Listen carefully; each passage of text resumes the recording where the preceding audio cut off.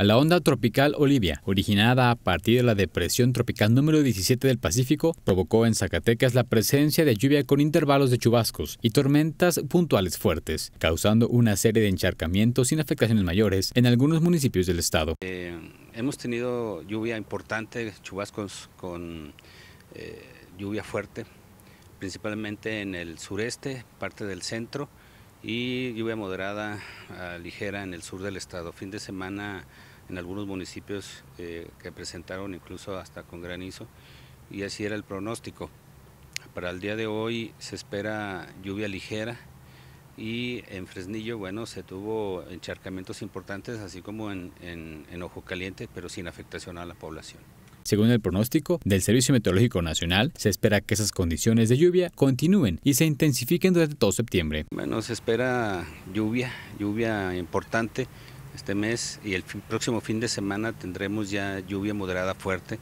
Esto se estará presentando en la mayor parte del estado, una zona de inestabilidad y actividad, lo que son de ambos océanos hacia el territorio nacional. Esa banda de nubosidad pues, está provocando que eh, cielo parcialmente nublado y con lluvias. Y municipios que presentaron granizo pues fue en el sureste y eh, lluvia fuerte con viento fuerte fue en el norte y noroeste del estado.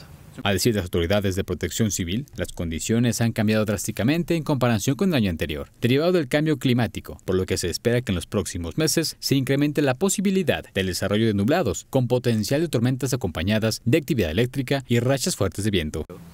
Es diferente, el eh, cambio climático ha modificado los modelos y hemos tenido eh, incluso fuera de temporada lo que es granizo y fuera de temporada lluvia o, falta de lluvia en la parte norte, o sea, en, la, región de Mezquital del Oro, García de la Cadena, eh, se ha presentado lluvia importante y en el norte lo que es El Salvador, eh, Concepción del Oro, algunas comunidades que todavía no llueve y los cuerpos de agua todavía no están al 80-90%. Con imágenes de Miguel Correa para Sistema Informativo CISART, Franco Elizondo Márquez.